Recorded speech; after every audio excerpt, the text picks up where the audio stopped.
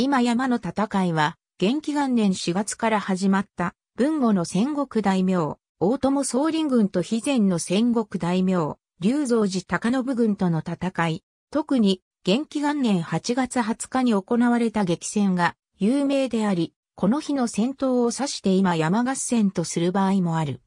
龍造寺高信元気元年3月、北九州の大友総林は、肥前において勢力を拡大する龍造寺高信を討伐するため、三千の兵を率いて、龍造寺領に攻め込んだ。龍造寺側は、助家城に軍を集めて、籠城を開始する。この時の大友軍の異様を、小江洋軍記では、釈寸の地も残さず、大幕を打つ付家々の旗を立ち並べ、立ち続けたるかがり火は、沢辺のホタルよりも茂く、朝毛夕毛の煙立て付きも光を失えると、記している。大友宗林を大友宗林は、高良山に陣取り諸将に攻略を命じたが、竜造寺軍の士気も高く容易に敵を寄せ付けなかったため、戦況は小競り合いを繰り返しながら数ヶ月が推移した。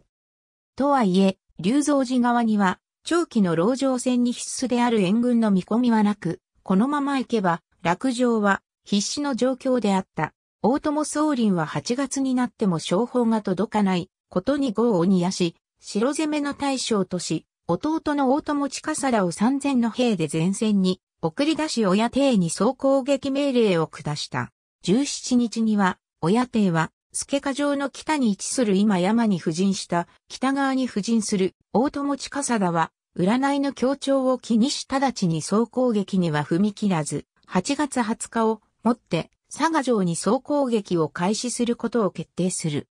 ところが総攻撃の前日の夜、親帝は今山の本陣で勝利の前祝いとして主演を開き、軍の士気を緩めてしまう。この動きを患者から入手した助家城の鍋島信は、今山の敵本陣への野襲を進言する。牢城での徹底抗戦論や幸福論が飛び交っていた。龍造寺陣営ははじめ無謀だとして否定的だったが、高信の聖母、喜びにが劇を飛ばしたことで、奇襲作が入れられ、自家製、以下500用の奇襲部隊が編成された。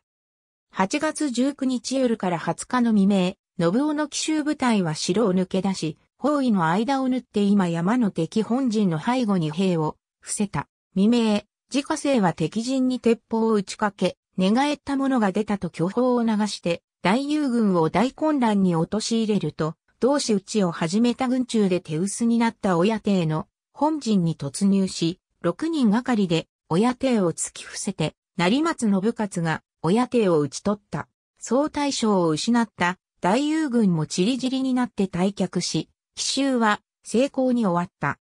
この時の大友軍の犠牲は2004人に及んだという。この勝利を記念して、鍋島信は、鍋島家の家紋を、剣花火師から大友家の行用へと変えた。この戦い自体は、局地戦であったため、大友本軍にはさほど大きな痛手にならなかったものの、正気を逃した大友軍は半年に及ぶ包囲を続けたが、佐賀城攻略の糸口をつかめず、9月末には、龍造寺側から和睦提案があり、高信の弟、龍造寺信景を人質に差し出すことで大友側は、講和を受諾した。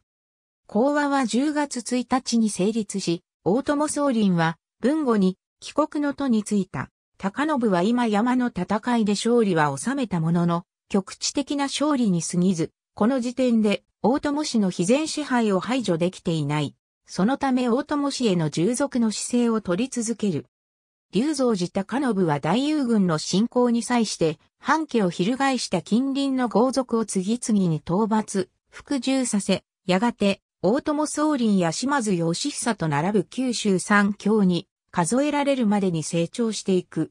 1931年、陸軍大学校参謀演習のため佐賀を訪れた秩父宮洋人親王は、今山の合戦を研究するため、古戦場を見渡せる男女神社を訪ねた。男女神社前の丘にはこれを記念する石踏みが建てられている。男女神社から見た今山古戦場と佐賀平野、写真左端付近の丘に大友近貞の本陣があったとされ、石碑が立つ。写真右の石碑は、秩父宮殿下御展望記念碑で、そのすぐ左が村中城方面。書籍資料、ありがとうございます。